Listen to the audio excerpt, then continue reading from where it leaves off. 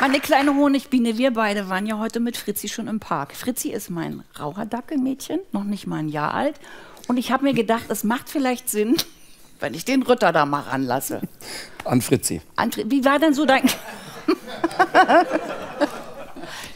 Geht alles über den Hund. So. Wie ähm, war dein Gesamteindruck? Ich muss wirklich sagen, ich bin eigentlich, als ich wusste, wir treffen uns morgens und abends sind wir in der Sendung, hatte ich mir schon so viel Sticheleien zurechtgelegt, ähm, weil ich ja ähm, damals die Mobsdame auch kennenlernte. Ella. Und ich wusste, okay, wenn das nur ansatzweise in die Richtung von Ella geht, dann äh, werden wir wohl Sicherheitspersonal im Park brauchen.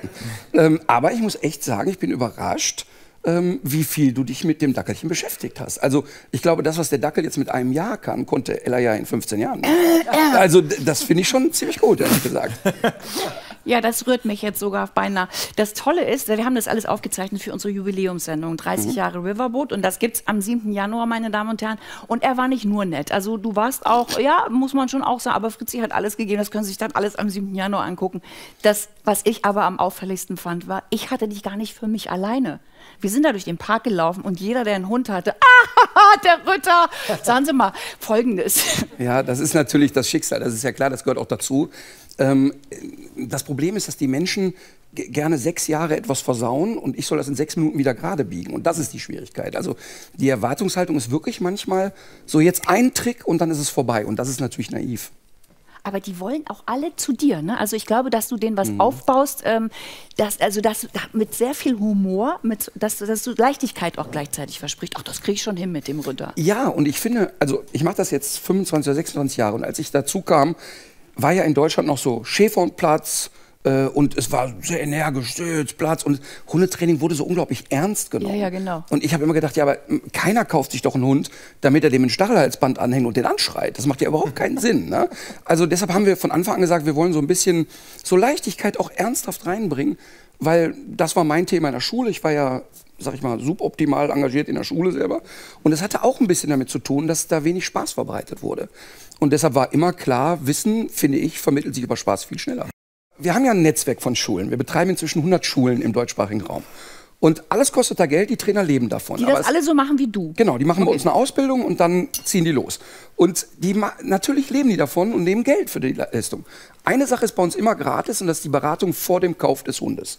Wir vergeben etwa 100.000 Trainingseinheiten im Jahr und nicht mal 10 davon Beratung vor dem Kauf des Hundes. Es läuft also immer so wie äh, von der äh, Regisseurin beschrieben.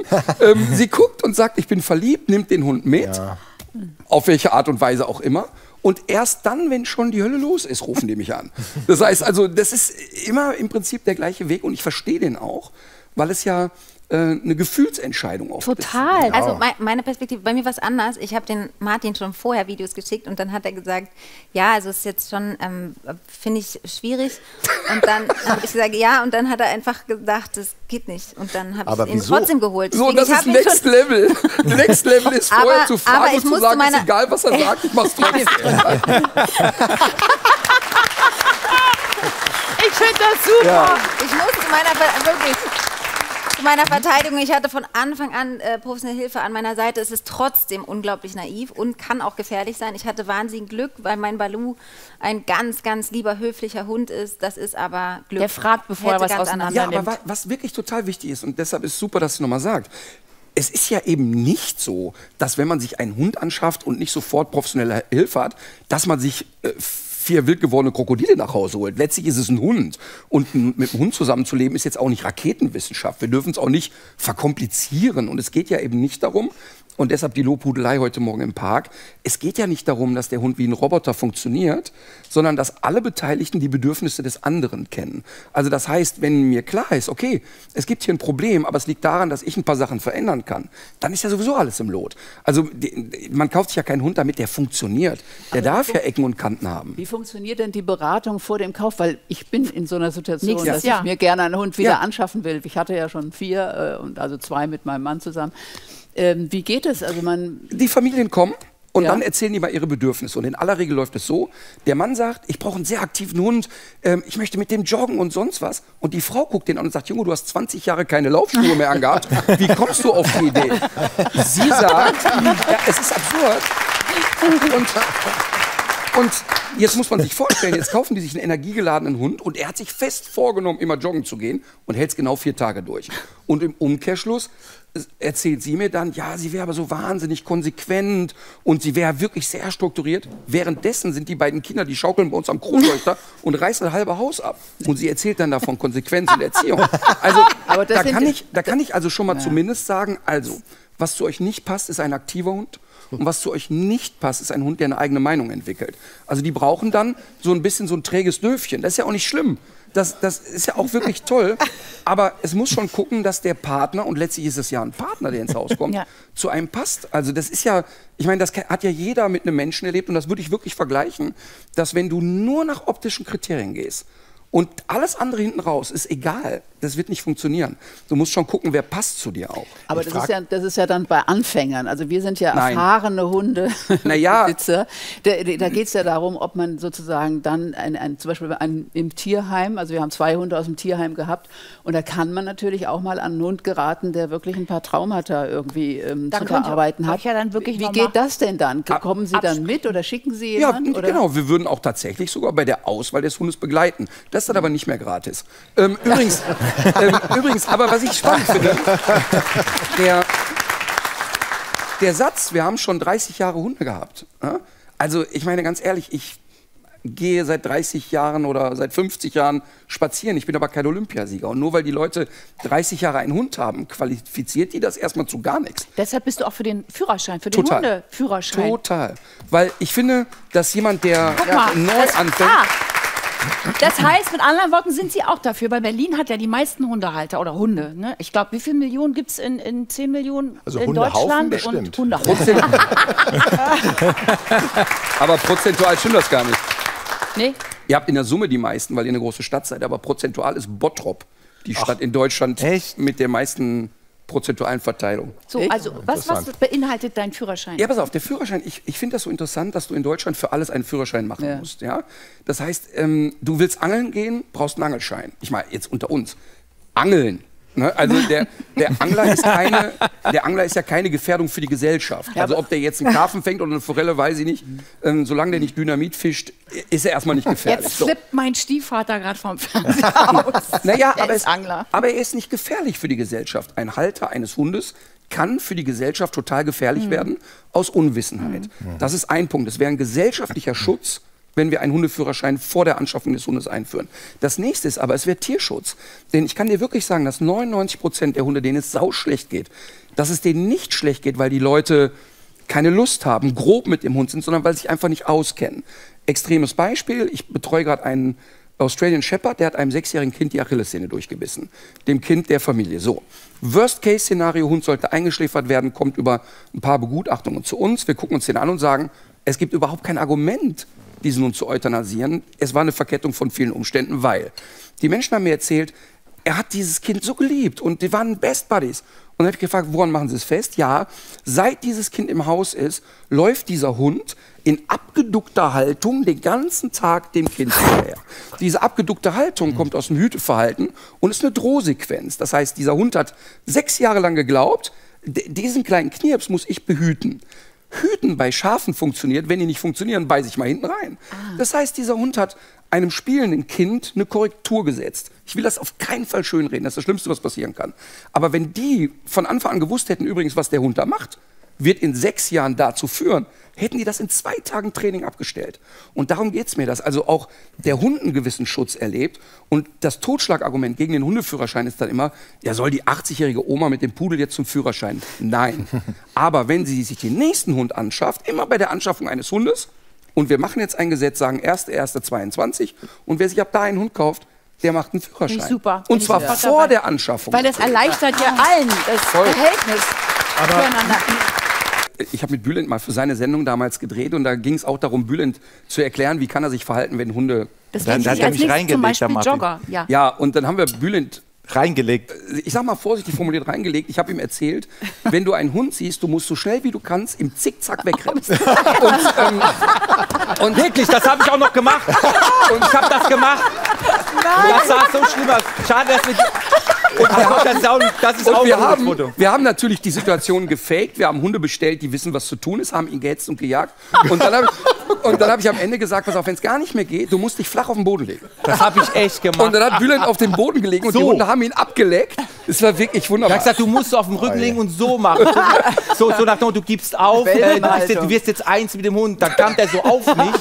Das sah, also, das sah schon nicht schön, also das, ist, das sah komisch aus. Aber Wisst ihr was, Jungs, das finde ich schon wirklich echt erstaunlich. Wenn mir damals jemand erzählt hätte, ja, so ein Hundetrainer halt, der auch wirklich gut ist, füllt Zehntausender halt. Wahnsinn. Das will mir einfach nicht in den Kopf. Aber wir sehen es ja, wie unterhaltsam glaube, das auch ist. aber ich glaube, der Einzige, der wirklich dran geglaubt hat, war ich selber. Also ich weiß, dass ich vor 20 Jahren mal in Köln in der Philharmonie saß. Ich glaube, da war Stomp oder so ist da aufgetreten. Und da passen, glaube ich, so 13, 1400 Leute rein. sind das die, die die Beine so hochschmeißen? Genau. Und, und zu der Zeit waren bei mir so, in, ich habe ja in Kneipen Vorträge gehalten, waren so 20 Leute im Schnitt. Und ich saß da und habe zu Freunden gesagt, ich wüsste kein Argument, warum wir so eine Halle nicht mal füllen könnten. Und alle haben mich natürlich äh, komplett geisteskrank wahrgenommen, muss man wirklich sagen. Und ein bisschen krank ist es auch. Ja, aber das Der ist schon, will doch nur es ist wirklich entertaining. Ich habe mir die. Live-Show echt angeguckt und ich habe jetzt keine Hunde. Also in dem Sinne. Und ich muss sagen, er fesselt auch die, die keine Kein- Hunde haben. Also du machst das so eine auch tolle mit Geschichte dem draus. neuen Programm, du merkst, ich muss unbedingt Ja, ich das neue- Werbung möchte. Ja, aber ich will ja das neue. Programm erstmal nennen. Der So. will doch nur spielen, heißt es da. Ähm, es ist wirklich einer der meistgesagten Sprüche, die man immer wieder hört. Also ich könnte mir auch als Joggerin, wenn ich laufe, also das mache ich auch ab und an, einmal im Jahr gehe ich auch joggen. Hui. Deshalb diesen fitten Hund gekauft. Deshalb diesen fitten Hund, ja, du bist ja auch fit im, also ich meine, du hast dich heute wirklich besonders hübsch gemacht. Muss man Fängt einfach jetzt wieder an. Fängt jetzt wieder an. Es ist, doch Ist immer wirklich, so. Immer. Immer. es ist doch wirklich. Ich werde das nicht verstehen, warum das immer so wichtig ist. Ich habe auf Kristall eine Laudatio gehalten bei der Bambi-Verleihung. Und da sitzen ja alle dann im Smoking und keine Ahnung. Zwei Minuten vor Beginn der Sendung kam Kai Pflaume zu mir, völlig hektisch. Ziehst du dich noch um? und, und dann habe ich so flapsig gesagt, nein, du. Und er wusste gar nicht, was ich ihm sagen will. Das Verrückte, das Verrückte ist aber, das, was, das, da, weißt, du, weißt du, was wirklich strange ist? Ich kam dann raus, habe diese Rede da auf Chris gehalten und ich habe gesehen, so die ersten vier, fünf Reihen, die waren alle sehr irritiert. Ne? Also wirklich sehr, sehr irritiert. Ähm, und spannend war ja, ähm, dass es an dem Abend bei der Bambi-Verleihung gab es einen Preis für Toleranz in der Gesellschaft. Ja. Aber Mhm, alle gut. kacken sich da ein, weil ich mit einer Jeanshose komme. Und dann kommt noch Kristall, der den Preis in Empfang nimmt, guckt mich an und sagt, Mensch, du hast dich heute richtig schön gemacht für mich. Und dann war es natürlich in der Show da oben. Also ähm, äh, äh, wir waren aber eigentlich bei der, der, der will doch nur spielen. Und äh, das, also das wird ein neues Programm. Und ich habe es ja heute auch, ich habe mich immer gefragt, wo holt er sich denn seine ganzen Geschichten her? Ja, logisch, im Park. Du musst ja bloß rausgehen und dann kommen die Geschichten. Ähm, was mich jetzt aber auch interessiert, wir haben Weihnachten, wir haben Silvester. Ich finde, Weihnachten ist okay. Ähm, ich habe einmal die Erfahrung gemacht, dass Lametta nicht wirklich die tollste Beschäftigung für einen Hund ist. Schokolade? Schokolade, ja, hochgiftig. Aber Silvester, hast du einen Tipp für uns Hundehalter, wie wir da, das ist ja grauen, grausam, finde ich das. Ja, also dieses Jahr haben wir, glaube ich, ja wieder das Glück, dass es verboten wird. Ja, ne, aber das heißt, Ein paar werden es schon machen, trotzdem, bin ich mir sicher. Und das Problem ist, dass die Hunde das oft nicht einschätzen können. Das heißt, es kommt so unvermittelt. Es, ist, es sind Geräusche, es sind Farben, es sind Gerüche, die für viele Hunde echt traumatisch sind. Und die banalen Sachen, natürlich kann ich einen Hund, der ängstlich ist mit Silvester, nicht alleine lassen. Das darf ich auf keinen Fall machen. Dann Rollos runter, ein bisschen Musik an. Und wenn ich einen Hund habe, der wirklich extrem traumatisiert ist zu Silvester, kommt jetzt ein ernst gemeinter Ratschlag, dann kriegt er ein bisschen Eierlikör. Und ich meine es wirklich ernst. Mir ist klar, dass Alkohol für Hunde erstmal giftig ist. Aber der Eierlikör führt dazu, dass die Hunde so einen, so einen leicht bedödelten Zustand kriegen. Und die werden dann so müde, das heißt, man fängt dann um 18 Uhr an, das so zu dosieren. Wir reden von Mini... Entschuldige, aber Langsam, wenn du langsam, langsam. Entschuldigung, Stopp, stopp, stopp, ich sehe jetzt gerade meine. Flitschi. Nein, nein, nein, langsam. Dann- Udo Lindenberg freut sich. Nein, nein, stopp, stopp, damit jetzt kein, um Gottes Willen. Keine Flasche. Nein, nein, Ja. nein. Bei, bei einem Hund in Dackelgröße reden wir von einem Esslöffel, nicht von einem Liter. Du bringst den um, ne? Von Also, 18 Uhr bis ja, so einen, genau, einen kleinen Pegel aufbauen. Es gibt einen Tierarzt, ein Esslöffel einen Pegel auf. naja, entschuldige, aber entschuldige, dein Hund wiegt 6, 7 Kilo und da oder? Was wiegt das Tier? Fünf. Fünf, die feine Dame. ist ja noch jung, ne? Die wird ja noch ein bisschen kerniger. Und nach dem Eierlikör ein bisschen mehr wahrscheinlich. Nein, ne? aber pass auf, damit er jetzt wirklich, ich meine das wirklich ganz ernst, weil Alkohol natürlich giftig ist für Hunde. Aber es gibt einen Tierarzt, Ralf Rückert heißt der, heißt der Mann, der, auf, den kann man bei Facebook und so finden, der hat eine genaue Dosierungsanleitung. Und ich meine das wirklich, wirklich ernst. Jedes Jahr empfehle ich das. Und ich weiß auch jetzt, dass mir mit Sicherheit 2000 Menschen schreiben und sich beschweren, ob ich noch ganz durchgeknallt wäre. Es ist aber wirklich ernst gemeint, weil es die Hunde in einen Schlummer versetzt. Der große Vorteil zu irgendwelchen Medikamenten, die Medikamente stellen die Hunde körperlich ruhig, der Kopf bleibt aber wach. Jetzt liegt ein Hund da, kann sich nicht mehr rühren, ist aber geistig voll da. Und der Eierlikör macht den so ein bisschen döselig.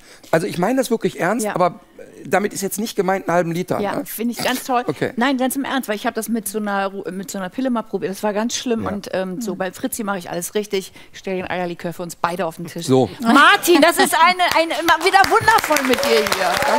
Schön, dass du bei uns